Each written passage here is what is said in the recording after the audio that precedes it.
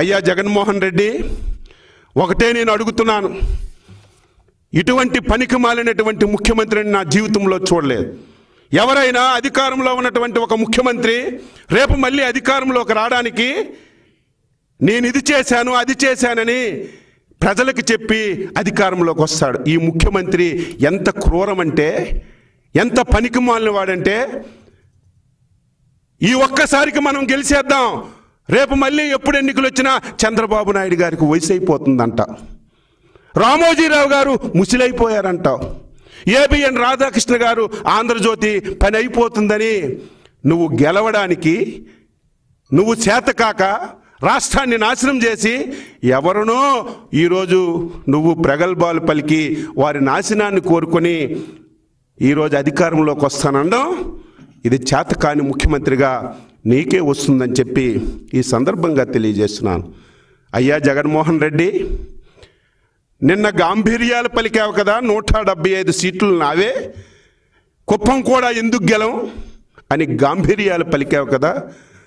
Telugu Desam party జాతీయ కార్యాలయం నుంచి జగన్మోహన్ రెడ్డికి నేను ఛాలెంజ్ చేస్తున్నాను. నూట డెబ్భై ఐదు స్థానాలు గెలుస్తావని నమ్మకం నీకుంటే ఆంధ్రప్రదేశ్ ప్రజల మీద విశ్వాసం నీకుంటే వెంటనే ప్రభుత్వాన్ని డిజాల్వ్ చేసి ఎన్నికలకు రా. పోటీ చేద్దాం. నువ్వు నూట డెబ్బై ఐదు స్థానాలు గెలిస్తే తెలుగుదేశం పార్టీ ఆఫీస్కి తాళాలు వేస్తామని చెప్పి సందర్భంగా తెలియజేస్తున్నాను.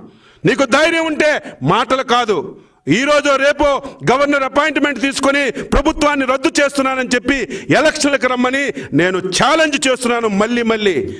నీ గాంభీర్యాలకి నీ ఓకదంపుడు ప్రసంగాలకి ప్రజలు నమ్మే పరిస్థితి లేదు అని ఈ సందర్భంగా తెలియచేస్తూ విఘ్నులైనటువంటి ప్రజలారా విఘ్నులైనటువంటి మేధావులారా విఘ్నులైనటువంటి ఈ రాష్ట్రంలో ఉన్నటువంటి ప్రతి ఒక్క పౌరులారా ఆలోచించండి. ఇదేదో తెలుగుదేశం పార్టీ కార్యక్రమం కాదు. ఇదేదో అచ్చెన్నాయుడి కార్యక్రమం కాదు. ఆంధ్రప్రదేశ్ రాష్ట్రం ఇంత దారుణంగా ఇంత ఘోరంగా ఎన్ని కుయ్యత్తులతో చివరికి పదవ తరగతి పరీక్షలు కూడా నిర్వహించలేని దద్దమ్మలు ఈ రాష్ట్రంలో పరిపాలన చేస్తుంటే ఇంకా మనం తిరగబడకపోతే ఇంకా ఈ రాష్ట్రంలో వైసీపీ ప్రభుత్వాన్ని బంగాళాఖాతంలో కలపకపోతే మన భవిష్యత్ ఏంటి మన పిల్లల భవిష్యత్ ఏంటి మన భవిష్యత్ ఏంటని ప్రతి ఒక్కరు కూడా ఆలోచన చేయమని ఈ సందర్భంగా కోరుతూ నీ ప్రబగల్బాలు మాను ఇమీడియట్గా డిజల్వ్ చేసి నువ్వు రా. ఎలక్షన్లకు వెళ్దాం. అప్పుడు ఎవరు ఎన్ని సీట్లు గెలుస్తారో తేల్చుకుందామని చెప్పి నేను ఛాలెంజ్ చేస్తున్నానని చెప్పి ఈ సందర్భంగా తెలియజేస్తున్నా.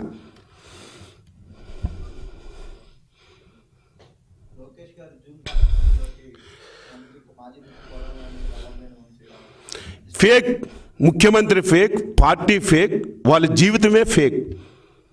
మొదటి నుంచి కూడా మేము చెప్తున్నాం ఫేక్ ముఖ్యమంత్రి ఫేక్ నాయకులు ఈరోజు వైసీపీ పార్టీలో ఉన్నారు. వాళ్ళకి ఏం పని అండి పదవ తరగతి పరీక్షలు నిర్వహించలేనటువంటి దద్దమ్మలు ఈ రాష్ట్రంలో అమ్మఒడి ఇవ్వబడుతుందని రెండు లక్షల మంది విద్యార్థులతో ఆటలాడుకున్నటువంటి పనికి మాలిన వెధవలు విద్యార్థులకి ధైర్యాన్ని ఇవ్వాలని విద్యార్థుల తల్లిదండ్రులకి ఒక ధైర్యాన్ని ఇవ్వాలని జూమ్ కాన్ఫరెన్స్ తీసుకుంటే ఫేక్ ఐడీలు సృష్టించి ఈరోజు పదవ తరగతి పరీక్షలు పాస్ అవనటువంటి వెధవలు ఈ కాన్ఫరెన్స్లోకి వచ్చి డిస్టర్బ్ చేయడం ఎంతవరకు సబవు మేము చెప్పింది నిజం.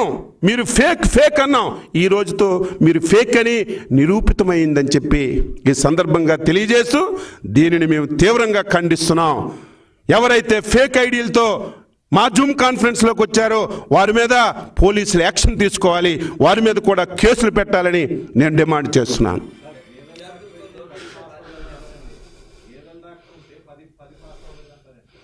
పది పాస్ అవ్వలేదు. ఇప్పుడు ఎవడైతే ఈ జూమ్ కాన్ఫరెన్స్లోకి వచ్చారో ఆ వెధవలందరూ పది కూడా పాస్ అవ్వలేదు. పది పాస్ అవ్వని వెధవలందరూ జూమ్ కాన్ఫరెన్స్లోకి వచ్చి మేము కాన్ఫిడెన్స్ ఇవ్వాలనుకుంటే దాన్ని కూడా చిన్న భిన్నం చేయాలని ప్రయత్నం చేస్తున్నారంటే ఇందులో ఇంకొకటి లేదు. అది ఫేక్ పార్టీ ఫేక్ నాయకులు ఫేక్ మొత్తం టోటల్గా వైసీపీ పార్టీ అందులో ఉన్న వాళ్ళందరూ ఫేక్ అని ఈ రోజుతో ఇంకా నిరూపితమైంది విద్యార్థులతో రాజకీయం చేస్తున్నారు లోకేష్ విద్యార్థులని ముందు పెట్టి రాజకీయం చేస్తున్నారు రాజకీయమే? రెండు లక్షల మంది విద్యార్థులు తప్పిపోలేదా? అది తప్ప చెప్పండి. పది మంది విద్యార్థులు ఆత్మహత్య చేసుకోలేదా? మేము తప్పు చెప్తున్నామా?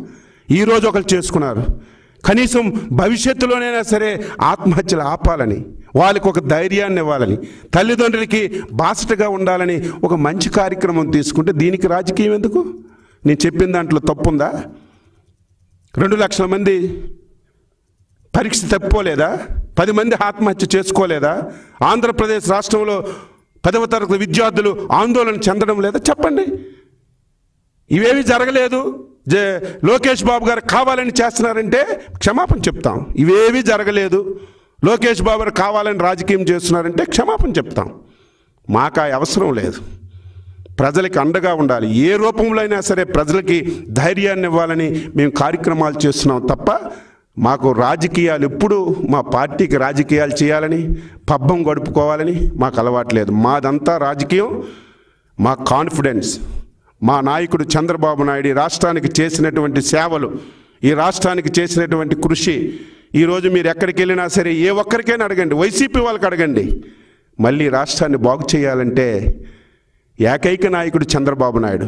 మళ్ళీ ఆ మహానుభావుడు ఈ రాష్ట్రానికి ముఖ్యమంత్రి అయితే తప్ప ఈ రాష్ట్రం బాగుపడదు ఈ రాష్ట్రానికి బతుకు లేదని ప్రతి ఒక్కరూ మాట్లాడుతున్నారు. కాబట్టే ఈ పిచ్చి ప్రలాపనలు ఈ పిచ్చి కార్యక్రమాలన్నీ చేస్తున్నారని చెప్పి తెలియజేస్తున్నాను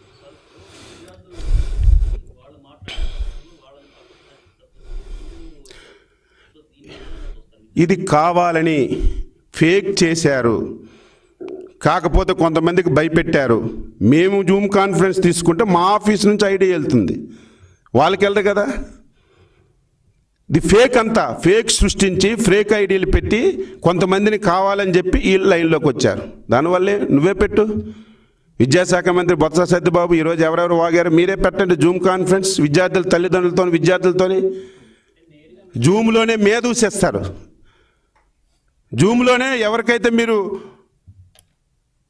జూమ్లో మీటింగ్ పెడితే విద్యార్థులు విద్యార్థుల తల్లిదండ్రులు దగ్గర కనబడకపోయినా కనీసం అందులోనైనా మీ మీద ఊసి చీపురు గట్టలతో కొట్టడానికి సిద్ధంగా ఉన్నారు. మీరు పెట్టండి మాకెందుకు? మీరే పెట్టి అడగండి.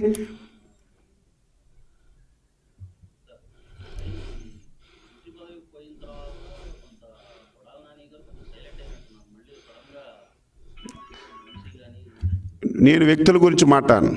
వీళ్ళ గురించి ఆంధ్రప్రదేశ్ ప్రజలకు అందరికీ తెలుసు. వాళ్ళ గురించి మళ్ళీ మాట్లాడి మన శ్రమ మనకి వాయుస్ అనవసరంగా పోవడం మన శక్తి పోవడం వేస్ట్. పనికి మాలిన వాళ్ళ గురించి మాట్లాడితే ఏం ఉపయోగం? వాళ్ళు వచ్చారు అందుకే కదా చెప్పాను. పనికి మాలిన వాళ్ళు కాబట్టే వచ్చారు వాళ్ళు. పనికి వచ్చిన వాళ్ళు అయితే ఎవరు రారు? విలువలు ఉన్న వాళ్ళు అయితే ఎవరు లేరు? విలువలు లేని వాళ్ళు పనికి మాలిన వాళ్ళు సమాజంలో గౌరవం లేని వాళ్ళు వీళ్ళకి వచ్చి చేస్తారు తప్ప ఆ మాత్రం గౌరవం ఉన్న వాళ్ళు ఎవరు వచ్చి ఈ కార్యక్రమం చేయరు.